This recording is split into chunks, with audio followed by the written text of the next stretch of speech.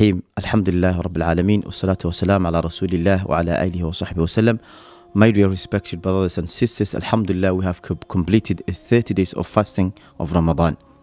We had an amazing period, a period of reflection, a period of pondering upon the verses of the Quran, a period of getting closer to Allah Azza wa Jalla b- by doing a lot of good deeds. However, as we're all aware, all our masajid are closed due to the lockdown of COVID 19. So we would like to encourage everybody to perform Salatul Eid with, their, with your family members at home and try to comply with the guidance from from the government and from the NHS in order to stay safe at this difficult time.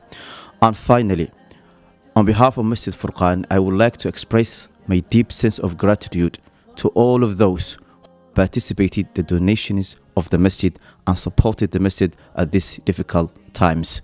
May Allah subhanahu wa ta'ala accept your deeds. May Allah subhanahu wa ta'ala accept your donations and your deeds that you performed in, the, in this amazing period of time. وجزاكم الله خير وكل عام وأنتم بخير والسلام عليكم ورحمة الله وأكون للوطن الحبيب مشيدا أنمى إليه وأستفيض جلالا